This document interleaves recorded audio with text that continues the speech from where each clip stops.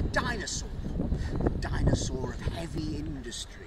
This is the old blast furnace in Redcar on Teesside. When it was built 50 or 60 years ago, it was the largest blast furnace in the world. Produced all this steel which went across the globe. It was fantastic. And then in 2015 it was mothballed and now it's being decommissioned.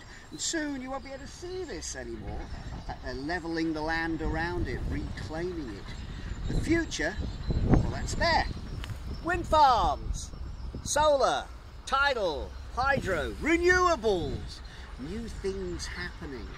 All it needs is investment and imagination and Teesside will be transformed because there's a brilliant workforce here with great skills and great imagination. And then we will say ta-ta to the old dinosaur. Looks amazing. It just doesn't produce anything anymore.